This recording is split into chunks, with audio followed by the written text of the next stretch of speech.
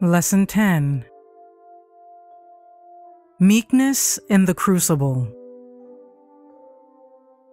Sabbath afternoon, August 27.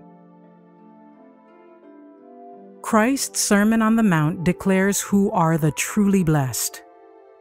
Blessed are the poor in spirit, those who are not self exalted, but candid and of a humble disposition, not too proud to be taught, not vain and ambitious for the honors of the world. For theirs is the kingdom of heaven. Blessed are they that mourn, those who are penitential, submissive, and who grieve over their failures and errors because the Spirit of God is grieved. For they shall be comforted. Blessed are the meek, those who are gentle and forgiving, who, when reviled, will not revile again, but who manifest the teachable spirit and do not hold themselves in high esteem, for they shall inherit the earth. Those who possess the qualifications here enumerated will not only be blessed of God here in this life, but will be crowned with glory, honor, and immortality in his kingdom. Testimonies for the Church, Volume 2, page 631. In Christ's Sermon on the Mount, the very first sentences that came from his lips were calculated to lay ambitions low in the dust. Blessed are the poor in spirit, he said, for theirs is the kingdom of heaven. Blessed are they that mourn, for they shall be comforted. Blessed are the meek, for they shall inherit the earth. Blessed are the pure in heart, for they shall see God. Blessed are the peacemakers, for they shall be called the children of God. Blessed are they which are persecuted for righteousness' sake, for theirs is the kingdom of heaven. The whole sermon was an exposition of the law. Christ presented the far reaching claims of the law of God. He tried to correct their high imaginings by exalting true sentiments and proclaiming a blessing upon those traits of character that were entirely opposite to the attributes they were cherishing. He presented before them a kingdom where human ambitions and earthly passions cannot find an entrance. Lift him up, page 135. Meekness is a precious Christian attribute. The meekness and lowliness of Christ are only learned by wearing Christ's yoke. That yoke signifies entire submission. The heavenly universe looks upon an absence of meekness and lowliness of heart. The self exaltation, the feeling of swelling importance, makes the human agent so large in his own estimation that he feels that he has no need of a Savior, no need to wear Christ's yoke. But the invitation to each soul is Take my yoke upon you and learn of me, for I am meek and lowly in heart, and ye shall find rest unto your souls. Matthew chapter 11 verse 29. The submission which Christ demands is brought about by the work of the Holy Spirit. There must be a transformation of the entire being, heart, soul, and character. Only at the altar of sacrifice and from the hand of God can the selfish, grasping man receive the celestial torch which reveals his own incompetence and leads him to submit to Christ's yoke, to learn his meekness and lowliness. In Heavenly Places, page 236.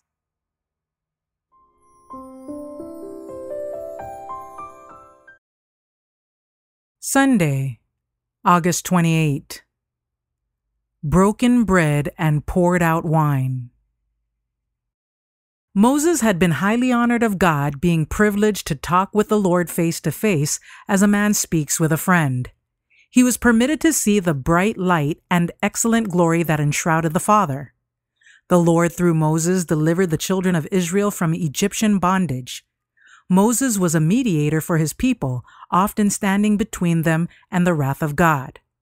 When the anger of the Lord was greatly kindled against Israel for their unbelief, their murmurings, and their grievous sins, Moses' love for them was tested. God proposed to destroy them and to make of him a mighty nation. Moses showed his love for Israel by his earnest pleading in their behalf. In his distress, he prayed God to turn from his fierce anger and forgive Israel or blot his name out of his book. Early Writings, pages 162 and 163. It was through suffering that Jesus obtained the ministry of consolation. In all the affliction of humanity, he is afflicted, and in that he himself hath suffered being tempted, he is able to succor them that are tempted. Isaiah chapter 63, verse 9, and Hebrews chapter 2, verse 18. In this ministry, every soul that has entered into the fellowship of his sufferings is privileged to share. The Lord has special grace for the mourner, and its power is to melt hearts, to win souls. His love opens a channel into the wounded and bruised soul and becomes a healing balsam to those who sorrow. The Father of mercies and the God of all comfort comforteth us in all our tribulation, that we may be able to comfort them which are in any trouble by the comfort wherewith we ourselves are comforted of God. 2 Corinthians chapter 1 verses 3 and 4. Thoughts from the Mount of Blessing, page 13. The difficulties we have to encounter may be very much lessened by that meekness which hides itself in Christ. If we possess the humility of our Master, we shall rise above the slights, the rebuffs, the annoyances to which we are daily exposed, and they will cease to cast the gloom over the spirit. The highest evidence of nobility in a Christian is self control. He who under abuse or cruelty fails to maintain a calm and trustful spirit robs God of his right to reveal in him his own perfection of character. Lowliness of heart is the strength that gives victory to the followers of Christ. It is the token of their connection with the courts above. Those who reveal the meek and lowly spirit of Christ are tenderly regarded by God. They may be looked upon with scorn by the world, but they are of great value in His sight. The poor in spirit, who crave the presence of an abiding Christ, the humble in heart, whose highest ambition is to do God's will, these will gain an abundant entrance to heaven. They will be among that number who have washed their robes and made them white in the blood of the Lamb. The Desire of Ages, pages 301 and 302.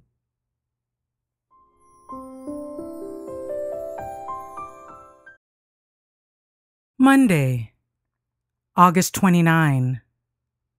Interceding for Grace.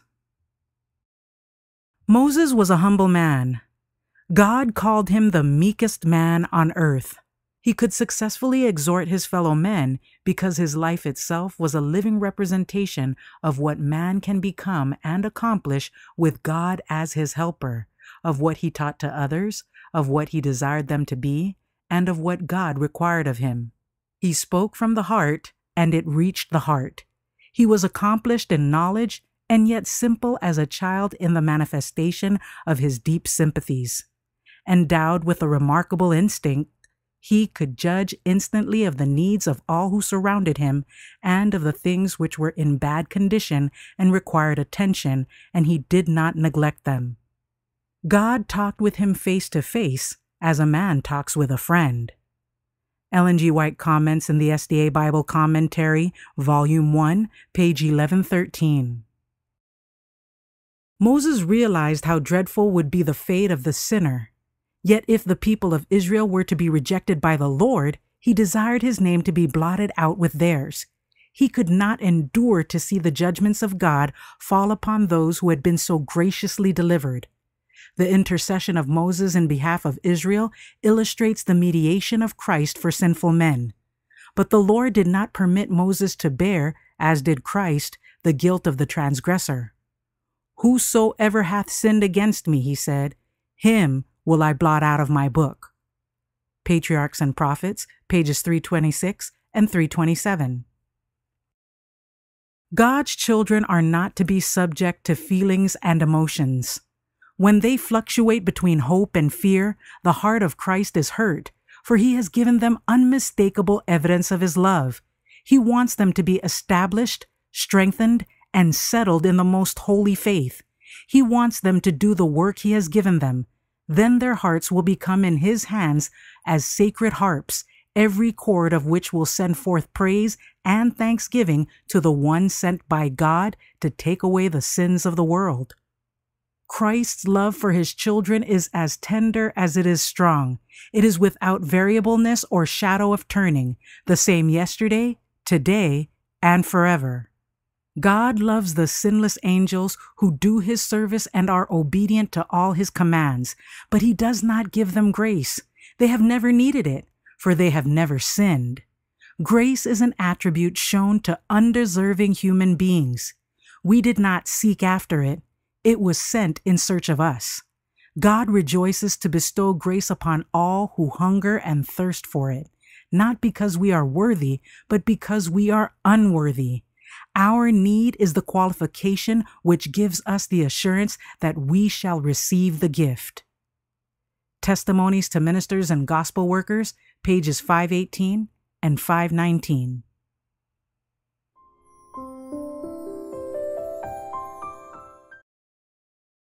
Tuesday, August 30. Loving those who hurt us. Do not allow bitter thoughts to continue to fill your mind. Go to your brother and in humility and sincerity talk with him about the matter.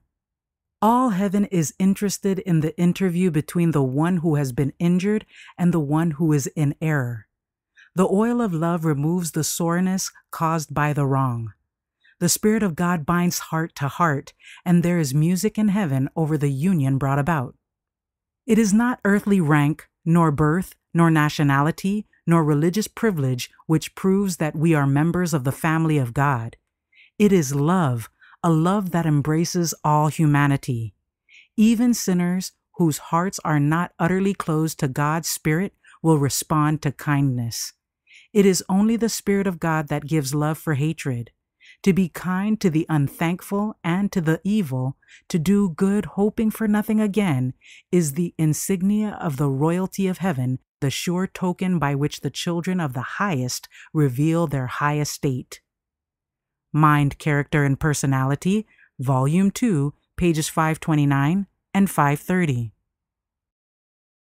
God's ideal for his children is higher than the highest human thought can reach. Be ye therefore perfect, even as your Father which is in heaven is perfect. This command is a promise. The plan of redemption contemplates our complete recovery from the power of Satan. Christ always separates the contrite soul from sin. He came to destroy the works of the devil, and he has made provision that the Holy Spirit shall be imparted to every repentant soul to keep him from sinning. The ideal of Christian character is Christ likeness. Jesus was in all things made like unto his brethren. He became flesh even as we are. He was hungry and thirsty and weary. He was sustained by food and refreshed by sleep. He shared the lot of man, yet he was the blameless Son of God. He was God in the flesh. His character is to be ours. The Lord says of those who believe in him, I will dwell in them and walk in them, and I will be their God, and they shall be my people. 2 Corinthians chapter 6, verse 16. The Desire of Ages, page 311. All that man needs to know or can know of God has been revealed in the life and character of his Son. Tender, compassionate, sympathetic, ever considerate of others, he represented the character of God and was constantly engaged in service for God and man. Love your enemies, he bade them. Bless them that curse you, do good to them that hate you, and pray for them which despitefully use you and persecute you, that ye may be the children of your Father which is in heaven. For he is kind unto the unthankful and to the evil. He maketh his sun to rise on the evil and on the good, and sendeth rain on the just and on the unjust. Be ye therefore merciful, as your Father also is merciful. Matthew chapter 5, verses 44 and 45, and Luke chapter 6, verses 35 and 36. Testimonies for the Church, Volume 8, pages 286 and 287.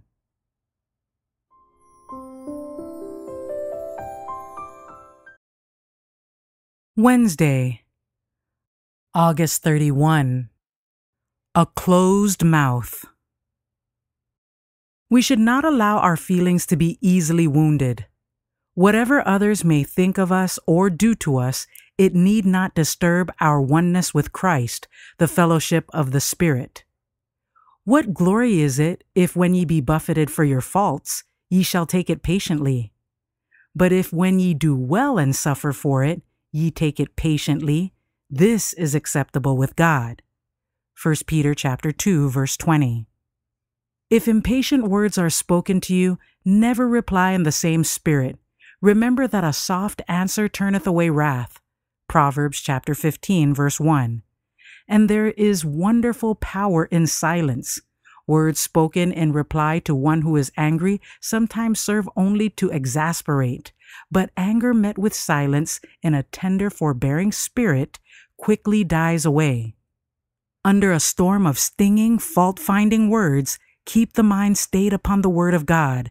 Let mind and heart be stored with God's promises. If you are ill treated or wrongfully accused, instead of returning an angry answer, repeat to yourself the precious promises. The Ministry of Healing, pages 485 and 486.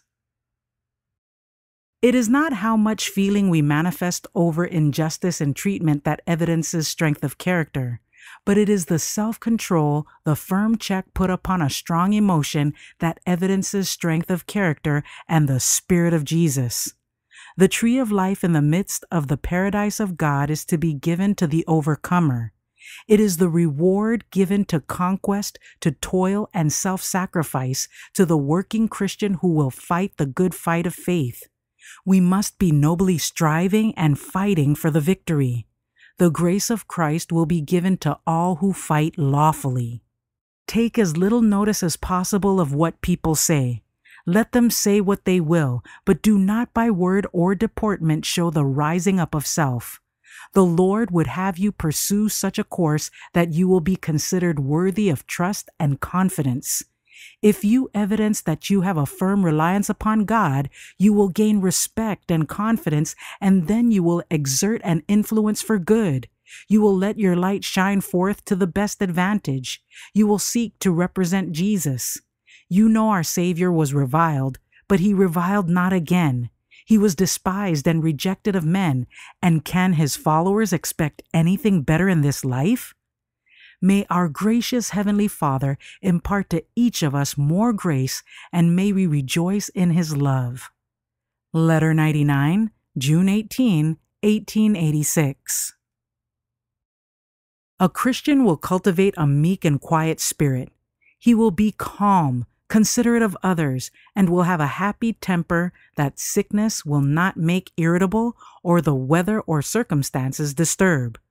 The children of God never forget to do good. Good works are spontaneous with them, for God has transformed their natures by His grace. My Life Today, page 193.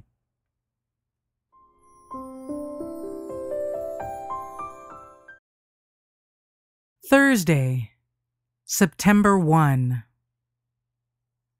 Our Rock and Refuge. Our enemies may triumph. They may speak lying words, and their slandering tongue frame slander, deceit, guile. Yet will we not be moved. We know in whom we believe. We have not run in vain, neither labored in vain. Jesus knows us. A reckoning day is coming, and all will be judged according to the deeds that are done in the body. It is true the world is dark Opposition may wax strong. The trifler and scorner may grow bolder and harder in their iniquity. Yet for all this, we will not be moved. We have not run as uncertain. No, no. My heart is fixed, trusting in God. We have a whole Savior. We can rejoice in His rich fullness. I long to be more devoted to God, more consecrated to Him. This world is too dark for me. Jesus said he would go away and prepare mansions for us, that where he is, we may be also. Praise God for this. My heart leaps with joy at the cheering prospect. Reflecting Christ, page 351. As the weary traveler seeks the spring in the desert and finding it quenches his burning thirst, so will the Christian thirst for and obtain the pure water of life of which Christ is the fountain. A divine element combines with the human when the soul reaches out after God and the longing heart can say, My soul, wait thou only upon God, for my expectation is from him. Psalm 62, verse 5.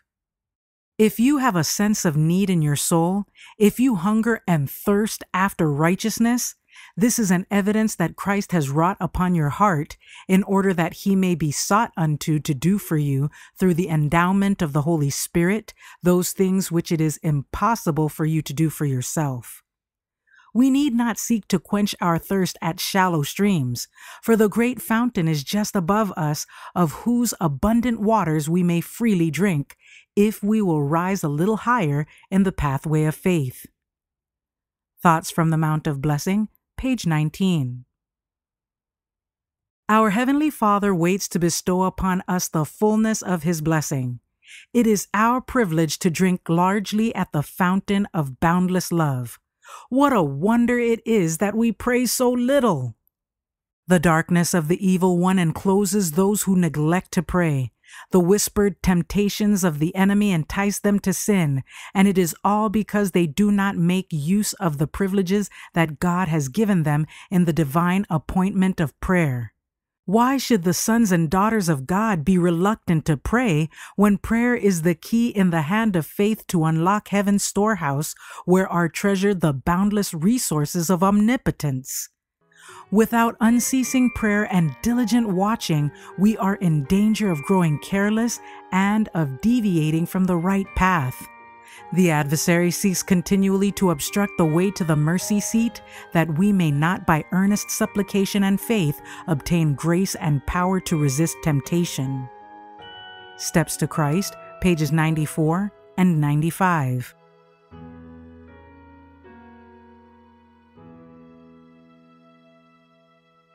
For further reading, Reflecting Christ, Christ, a perfect example for all, page 37, and Evangelism, the worker and his qualifications, page 630.